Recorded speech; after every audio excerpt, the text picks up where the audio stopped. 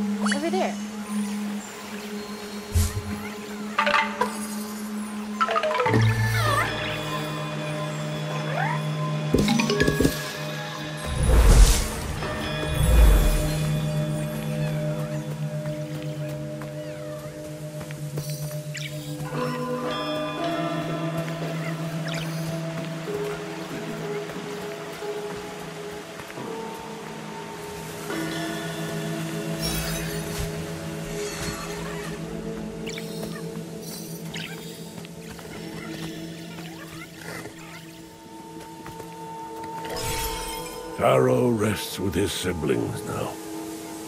I imagine the corruption in the forest has cleared as well. I know it was time for Beni and Saiya to move on with their brother, but the forest won't be the same without them. It's natural to build a connection with the spirits we help. We give up a part of ourselves when they move on. But the bond still remains. The path of a spirit guide is a lonely one. There is still work to be done if you wish to reach the mountain shrine. A skilled woodsmith once lived in our village and built structures beyond anyone's imagination. Search the fields beyond the storehouse for her troubled spirit.